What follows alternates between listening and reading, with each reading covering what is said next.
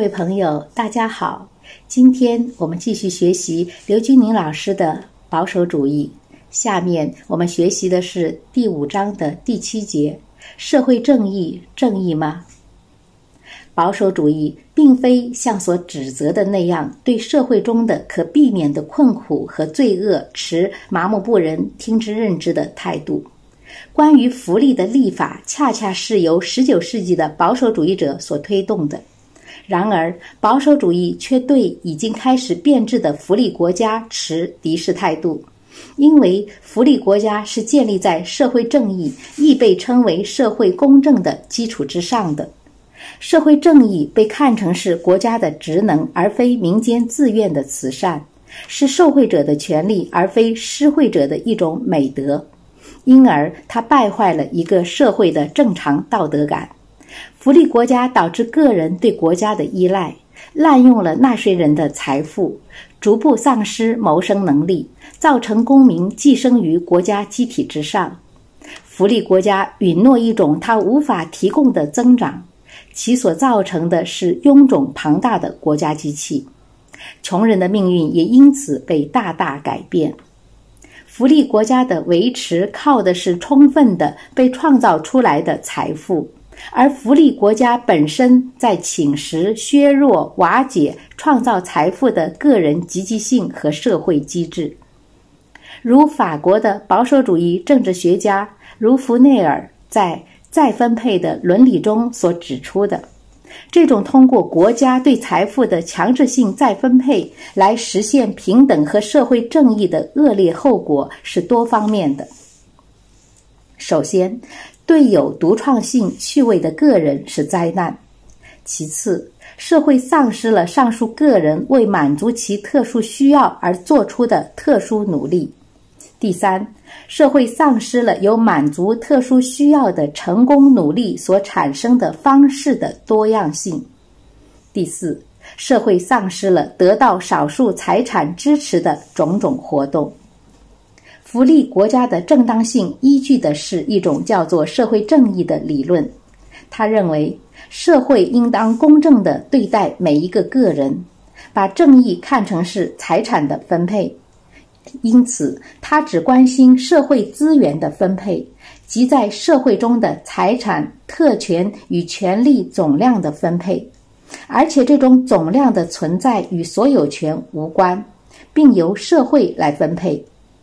这里的社会正义就是通过政府干预市场和分配，以便使某些人获得某些收入，从而实现分配上的公平。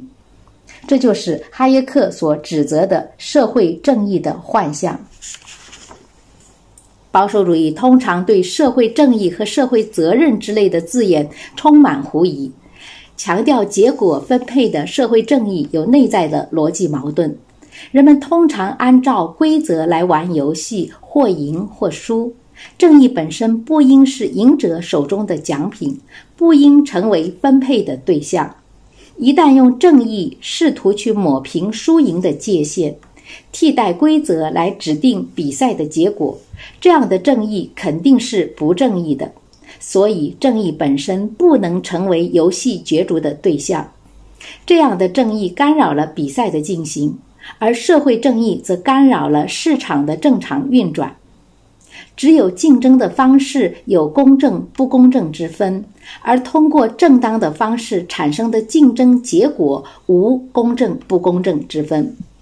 在保守主义看来，从来就没有像社会这样的空洞抽象的终极分配者，他更不能担负对社会产品进行分配的任务。社会只是一个过程，不是一个有思想、有行动、能进行财富分配的行动者。唯一能担负一些分配职能的是国家，但它的分配职能受基本人权，如财产权、宪法和法律及公民间的契约的限制。正义的运用不在于对社会财富的再分配。正义的问题只存在于契约主体的起源与交易，在公民与公民之间，国家与公民之间，谁若单方面毁约，都是不正义的。不经其本人同意，强迫他人劳动或剥夺他人所得，都是不正义的。只要权利得到了保障，正义就得到了实现。即便取得正，即便取得权利的过程会带来不等的分配结果。保守主义之所以怀着极大的道德勇气，对至为动听的社会正义提出质疑。是因为这样的社会正义把财富凌驾在权力之上，把虚假的社会凌驾在实在的个人身上。如果把这样的正义付诸现实，人的权利就注定要遭殃。如果不择手段地夺走别人的财富，必然要践踏别人的权利，而且社会正义会彻底抹掉个人的责任感。免除了社会互动的义务。如果不通过社会的再分配，就没有正当的占有，那么正当的付出和获得都不存在。如果在没取得社会认可之前，一切自然继承的所得都是不正义的；如果国家垄断了一切财富和权利，那么。社会平等的目标就成了让个人绝对服从于一个全权的实体社会的律令。在这里，每个人的平等是在特权基础上的平等，领取配额机会的平等。在这种社会现实，领取配额的额度和机会不仅极不平等，而且等级鲜明森严。社会正义所追求的这种各得其所，也曾写在象征着纳粹统治的布痕瓦尔德集中营的入口处。社会正义把正义当作一个社会整体的正义问题，而正义问题首先涉及的是个人的。在保守主义看来，把社会看作一个整体来衡量正义与否是不不妥当的。分配性正义创造出一个神一个奇怪的幻想：国家是所有财富的拥有者，否则国家拿什么去再分配？国家真的是社会上一切财富的拥有者吗？显然不是，而且没有任何理由是。艾森豪威尔曾经揶揄道。如果你想有享有最全面的社会保障，那就不妨去投奔监狱吧。那里的衣食住行和医疗都是免费的，那里只缺少一样东西，即自由。里根说的更加直截了当，他认为，在英语语言中最恐怖的话语就是“我是政府派来的，派来帮助你们的”。那么，保守主义如何对待穷人的问题呢？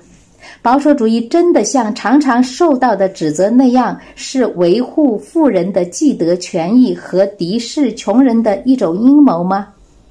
保守主义认为，人类总是生存在紧张状态之中，任何政治行动，不论多么有效，也只能缓解这种紧张，绝对不可能予以完全消除。在保守主义看来，邪恶和苦难是人类在其生存状态中永远无法摆脱的。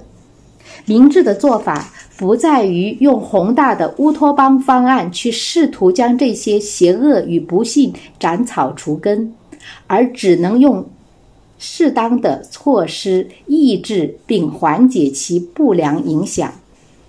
这也意味着政治与政府在功能和。活动范围上都是十分有限的，削弱强者增强不了弱者，毁掉富人帮助不了穷人，压制发心者提升不了领薪者。通过国家来强制性实行再分配的社会正义，却试图把一个有限国家变成无限的国家，把自由的国家变成保姆国家。把一个地方分权的国家变成中央集权的国家，一旦走到极端时，变成了一切由权力核心统一配给的兵营国家。保守主义正是为了穷苦人的长远利益，才质疑这样的社会正义的正义性。帮助穷人的最好方式不是通过救济让他们舒舒服服地享受贫穷，而是鼓励和帮助他们摆脱贫困状态。对那些有能力自食其力的穷人，政府给他们提供的越多，他们为自己提供的就越少，因而也就越穷。只有反其道而行之，他们才可能变得自立富裕。有人会问：对于那些靠个人和社会的力量都解决不了的困苦，难道政府也不应该伸出援助之手吗？当然应该。问题是，因看到这种援助计划常常带来的不良后果，政府的救助所提供的物质条件不可能也不应成为人们过着体面生活的物质基础。保守主义十分同情人间的疾苦与不幸，但绝不对受苦者和不幸者做空洞的画饼充饥式的空头许诺。保守主义不仅同情穷人，而且主张用更有效的办法帮助穷人。伯克认为，慈善和福利应由私人和民间来提供，主张用民间的慈善事业来取代政府的福利计划。民间的慈善不仅更有同情心，而且帮助穷人的办法也更为有效。这里，我们再次看到。保守主义倚重的是社会，而不是政府。用美国的保守主义政治家里根的话说：“政府通常不仅不能解决问题，政府本身就是个问题。”在保守主义看来，政府帮助穷人就像消防队灭火一样，只有在市民无法控制火势时，才动用消防队。只有在社会的力量无法克服眼前的困难时，政府才能出面。一旦大火被扑灭，消防队就应班师回朝。困难一旦被克服，政府就应撒手不管。所以，保守主义者在劳驾政府之前，总是要问明这个问题：凭社会的力量能否解决？在分配问题上，保守主义认为。市场机制的公平是政府主导的计划经济所无法比拟的。政府要做的不是取代市场，而是去维护市场自身的公平。人与人之间有很大的不同，各自所需要的公正也有不同。因此，靠政府通过国家权力来一刀切是很难实现公正的。反而常常是加大了不公正和不平等，因为这样做会导致权力的过分集中，以致产生不受制约的专横权力。此外，强行的平均会破坏产生财富的激励机制，到头来使得财富越分越少。权利与自由的平等是应该和正常的。分配的平等是不应该的，也是不正常的，更是不可能的。由于人自身能力缺陷和道德缺陷，正义不可能全面彻底实现。追求全面彻底的正义，反而带来更大的不易，尤其是不能通过总体设计和全面的平均的实施来实现全面正义。正义在很大程度上是演化而来的，不是设计与建构而来的。这就要求认同社会与传统的权威。